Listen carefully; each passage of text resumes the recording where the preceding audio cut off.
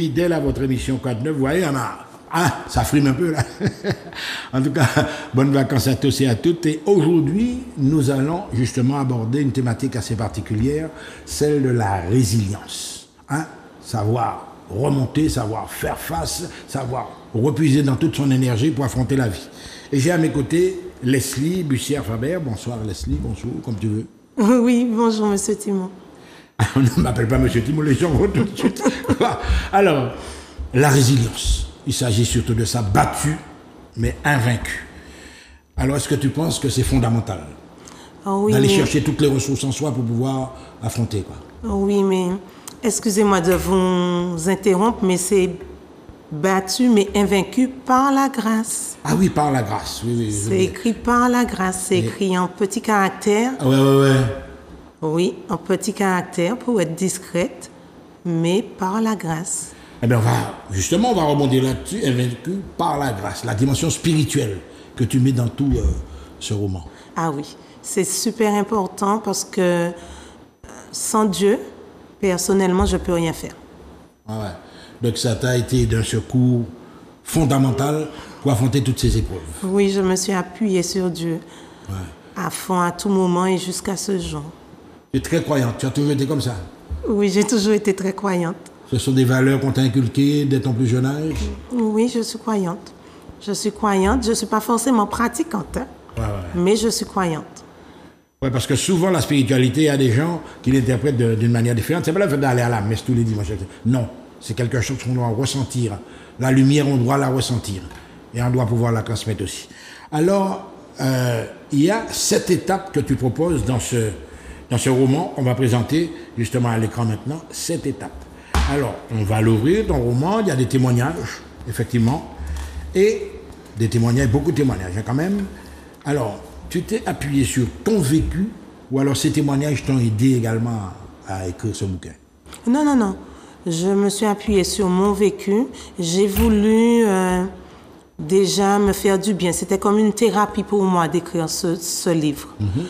Parce que de l'écrire, c'était aussi pouvoir dire, eh bien, c'est fini. Maintenant, tu as écrit, tu as clôturé cette partie. Et puis, à part ça, transmettre tout ce que j'ai mis en œuvre, tout ce que j'ai fait pour m'en sortir, le communiquer aux autres. C'est de la générosité, mais également ça fait partie, puisque toi, on rappelle que tu es enseignante, que la transmission, tu connais. Mais là encore, tu penses que cette expérience-là que tu as vécue, elle méritait également d'être partagée avec d'autres personnes qui sont dans le même cas. Quoi? Oui, même si je ne suis pas tombée dans la lamentation, mais j'ai quand même planté le décor. Oui, j'ai été battue. Et ensuite, j'ai surtout voulu montrer comment s'élever, comment s'en sortir. Alors, je ne vais pas prendre tous les témoignages. Euh, je vais quand même lire. Lorsqu'on lit le titre du livre de Leslie, Battu mais pas inv- invaincu, on pense instantanément aux violences conjugales, mais cela va bien plus loin en évoquant les nombreuses difficultés que les femmes doivent affronter au sein de notre société. Donc, à travers trois, c'est la position. On ne va pas dire que tu es féministe. Est-ce que c'est une position féministe, un petit peu? Ce n'est pas une position féministe, c'est une position humaniste, parce qu'il y a des hommes battus. Alors, je ne vais pas parler que des femmes. Les hommes aussi sont battus et ils souffrent énormément. Ouais. Donc c'est l'être humain, l'être humain qui est en souffrance, l'être humain qui est harcelé, l'être humain qui est battu. C'est c'est un livre pour tout un chacun. Et par le temps qui court, est-ce que tu constates justement que ce que tu viens, cette expérience que tu viens de vivre, qu'il y a beaucoup de femmes qui sont peut-être en train de la vivre actuellement? Oui, et justement, euh, je suis le porte-parole de ces femmes, de ces hommes, j'insiste, de ces personnes. Parce que c'est pas facile de dire qu'on est battu. On a honte. J'ai été pendant longtemps dans la honte.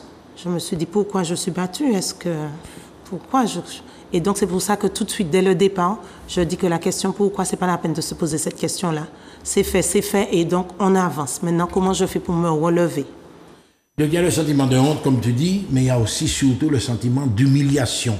L'humiliation, ça relève aussi peut-être d'un peu d'orgueil de femme que tu avais, puis de te voir arriver à ce stade-là aussi. Il y a ça aussi. hein. Eh bien oui, hein, parce qu'on s'attend à être battu par ses parents. Et encore, on ne dit pas battu, mais on va plus parler euh, d'une petite correction, Ouais. c'est-à-dire d'être réprimandé. Ça peut prendre la forme d'une tape. Mais quand il s'agit d'une autre personne et que ça se fait entre adultes, je peux vous dire que ça vous a abasourdi, que vous n'arrivez pas à comprendre ce qui vous arrive et il vous faut vraiment vous relever psychologiquement, vous êtes atteint. Ouais, ouais. Dans, dans la préface, ça fait partie de la préface des remerciements. Merci Seigneur pour la vie, pour la paix, pour l'amour, pour ta présence à mes côtés chaque jour. Là, tu as attaché à cette force spirituelle qui t'anime. Ah oui. Tu as besoin de ça tous les jours. Ah oui. Parce que je, quand ça m'est arrivé, j'aurais fait quoi? Me tourner vers qui? C'est sûr, je me suis tournée vers ma mère que je profite pour saluer, pour remercier. Parce que vraiment, c'est un poteau mi-temps dans ma vie et puis elle a toujours été là jusqu'à ce jour. Mais euh, à, part, à part cet être humain que j'ai pu avoir à mes côtés, il n'y avait que Dieu. Et on a cette partie divine en nous. Chacun a cette partie divine, qu'ils veulent l'admettre ou pas, on a cette partie divine. Et donc, c'est moi, j'ai fait appel à Dieu. Et je n'ai pas regretté jusqu'à ce jour. J'ai pu me relever grâce à lui. Ouais, ouais, ouais. Alors, euh, tu salues par exemple des, des, des gens qui t'ont soutenu, l'engagement de M. Bonnol, de la MFR, le maire de Rivière-Pilote, etc. Tu tiens à le faire? Oui, tout Un à fait. Ouais, ouais. Parce que euh, mon fils a été à la MFR à, à Rivière-Pilote, etc. Et, j'ai salué aussi tous les professeurs, toutes les personnes qui ont eu un merci, un sourire. Parce que à ce moment-là, la personne qui vous sourit, qui est face à vous, elle ne sait pas ce que vous vivez et elle ne sait pas que son sourire, que la main tendue vers vous peut vous aider à vous relever. Parce que quand on voit quelqu'un, on on peut pas imaginer que la personne, elle est battue. Quand vous voyez quelqu'un, si c'est une femme, la, la dame, elle est bien maquillée, elle est là, elle vit sa vie, elle fait de son mieux, on ne sait pas que cette personne-là est battue. Et donc, un mot, un sourire, une main tendue, comme j'aime dire, ça fait du bien. Et donc, c'est pour ça que les remerciements, excusez-moi, sont aussi longs. Oui, oui. Non, mais c'est c'est très important. Mesdames et messieurs, vous regardez cette jeune femme qui est là, qui est pimpante, qui est habillée, etc. Là, maintenant, quand tu te regardes toi-même, quand tu te parles à toi-même, est-ce que tu sens la différence Ah Avec oui. ce, ce sombre tunnel que tu as dû traverser. Oui, je sens la différence et c'est pour ça que justement je viens témoigner pour dire à tout un chacun de savoir que l'impossible est possible ouais, ouais, ouais. et que on peut se relever de ça. Ouais, ouais. Alors, on arrive maintenant à la construction même du livre, des chapitres. Le chapitre 1, pourquoi? Alors là, tu évoques peut-être les raisons qui t'ont amené à écrire ce bouquin et à parler de cette expérience de vie. Tu as tenu à faire part de ça. Oui, oui, oui, oui. Il le fallait parce que je vais reprendre une expression que tout le monde connaît, mais j'ai voulu être la voix des sans-voix. Ah oui, oui, Ah, bah, le, le- le grand poète, quoi. oui, dans ce domaine de... Et puis, De il y a la une phrase, tu commences d'ailleurs par ça, je suis en paix. Tu dis que tu as une certaine sérénité maintenant. Tu vois, j'étais toujours, enfin, j'ai toujours, j'ai pas besoin de raconter tout, mais tu es toujours en principe une personne de très calme, hein, normalement. Oui, je suis très calme, mais, mais disons que là, vraiment, c'est un autre stade. Parce que c'est vraiment la paix. C'est vraiment arriver à, à- à cette phase où on n'est plus tourné vers l'autre et on se tourne vers soi. Et en fait, vraiment, euh, moi, j'arrive à comprendre tout ce qui est méditation, tout ce qui est yoga. Vraiment, il faut, il faut renaître. Il faut Alors, renaître. Il faut renaître. Là, tu es en pleine, pleine, pleine euh, renaissance, on va dire ça comme ça. Mais alors là, il y a des étapes. Euh, J'étais en train de fêter le livre, la violence verbale. Quand on dit en créole, on peut battre tout sans y toucher. Est-ce que c'est important pour toi, ça? L'humiliation, en gros. Oui, c'est très très important. Et je pense que beaucoup de personnes, hommes et femmes, ils disent mais il pas battre moi, il pas qu'à battre moi. Mais tous les jours la personne se fait injurier, la personne se fait humilier, et quelque part cette personne elle est détruite en elle. Mais c'est tellement difficile de, se dire eh bien oui je suis en train de vivre quelque chose qui n'est pas normal, donc je ne jette pas la pierre à quiconque et je dis à ces gens de continuer de s'aimer et puis que quand ils seront prêts, quand ils seront prêts, pas avant, pas quand Leslie est prête, je fais telle chose. C'est quand moi, la personne qui lit le livre, quand je suis prête, je fais la chose. Mais justement, des fois, euh, dans, cette, euh, dans ce cas de figure, la violence verbale, euh, tu reçois des invectives, etc. On va foutre rien ici, il y a faim, hein, etc. Donc, ta solution, c'est de ne pas réagir verbalement, de ne pas entrer sur le même terrain. Alors.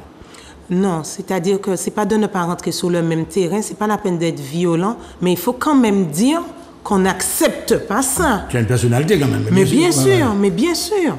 Il Ouais. faut dire qu'on ne veut pas de ça. Ouais, ouais, Mais quand les gens n'arrivent pas à le faire, parce que moi j'ai réussi, j'avais Dieu, j'ai prié, j'ai prié, j'ai prié sans relâche. Mais quand les gens n'arrivent pas à le faire, je leur dis ne, il faut pas vous en vouloir de ne pas pouvoir faire peut-être tout ce que vous allez lire dans le livre d'un seul coup. C'est ça que je dis. Je ne dis pas laissez-vous insulter. Je dis simplement ayez toujours de l'amour pour vous, quel que soit le stade auquel vous êtes. Respecter corps, ouais. C'est-à-dire, le deuxième aspect pervers du fait aimer de- corps. Aimer corps. Du fait de ne pas répondre, c'est ce que je te disais, et que la personne qui vous agresse, alors lui qui a monté en pression, au fur et à mesure, et alors là, on Oui. peut arriver jusqu'à l'inévitable, hein. oui. Oui, oui, oui. les coups, les, etc. Ouais. Tu comprends Et elle ne se rend peut-être même pas compte que ce qu'elle est en train de te dire, les accusations qu'elle porte, c'est illogique. Des fois, il tente de déraper, il part dans tous les sens. Oui. Ouais, ouais, ouais. Puisque Donc- vous ne dites rien. Donc- Alors là, tu dis, alors vous avez la possibilité de mettre ta personne face à son incohérence. Là, tu l'humilies encore plus, alors, si on comprend bien. Enfin, c'est une, une- une technique. Oui, c'est-à-dire c'est pas de l'humiliation. On n'est pas là pour humilier l'autre, mais on est là pour garder son propre respect. Et quand l'autre va trop loin, il faut lui dire, mais est-ce que réellement tu réalises que tu es en train de me dire telle chose? Mais il faut avoir une force de caractère aussi pour arriver à ce stade-là. C'est-à-dire, il y a la préparation, comme tu me disais, euh, l'introspection, mais il faut, avoir une- il faut être forte. En quelque part, lorsque tu es sorti de cette épreuve-là, tu t'es dit, mais on ne me comprendre, mais tu ne voulais même pas croire que... tu- Oui, mais, mais, mais maintenant, je ne peux que dire ça. Mais Dieu, Dieu, parce que la force ne- ne- n'est pas forcément en nous-mêmes. Et c'est pour ça que moi je dis, le titre du livre, c'est battu mais invaincu par la Ah, grâce. Mais c'est tellement petit, tu vois, que la personne qui... Ouais, ouais. Oui, mais tous les gens qui doivent lire et, et retenir par la grâce, ils savent Ils que c'est par la grâce.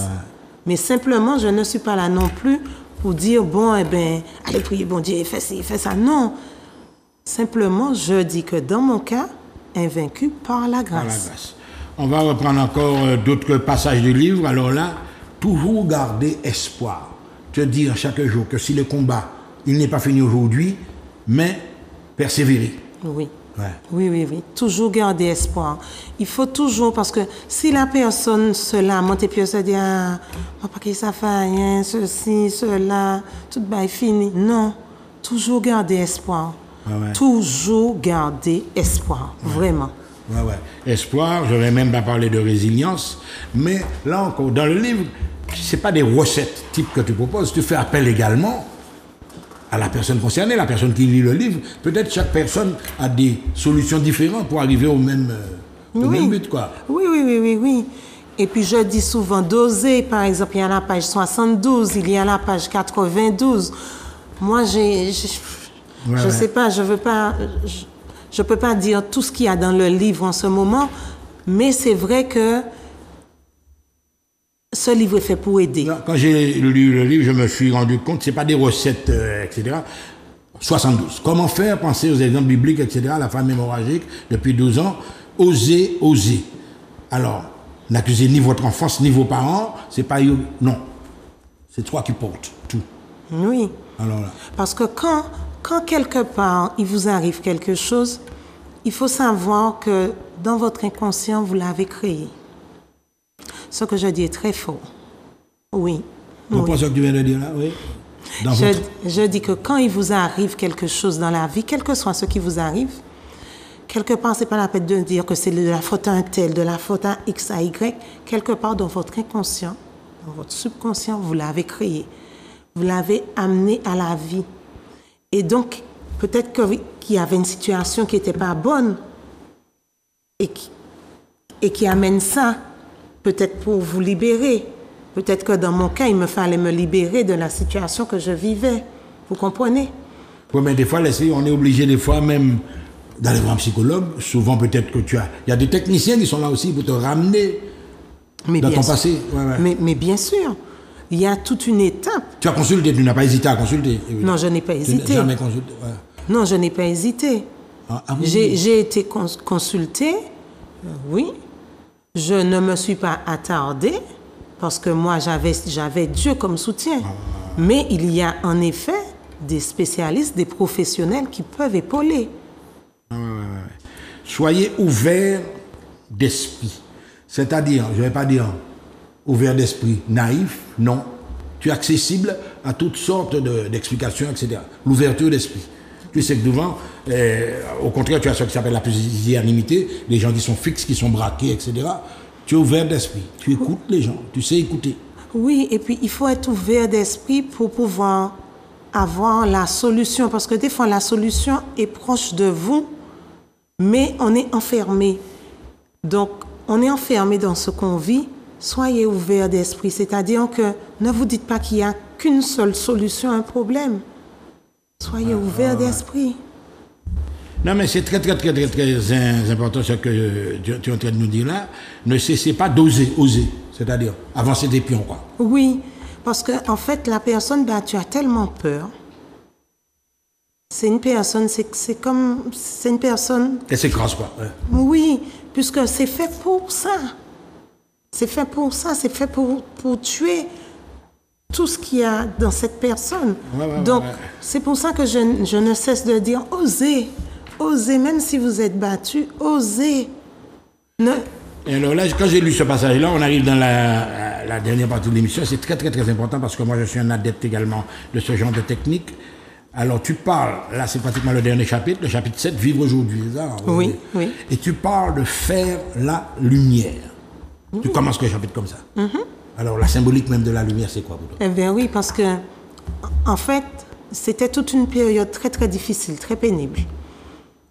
Et là, tout est lumière. Déjà, Jésus dit, je suis le chemin, la vérité et la vie. Et il dit aussi, je suis la lumière quand il parle de lui. Et il y a encore beaucoup de citations de Jésus. Donc, il faut vraiment savoir que faites la lumière en vous. Ne restez pas dans le noir. Ne restez pas aboyé du noir. Il faut vraiment que tout un chacun aille de l'avant. Il, faut, il faut vraiment aller de l'avant.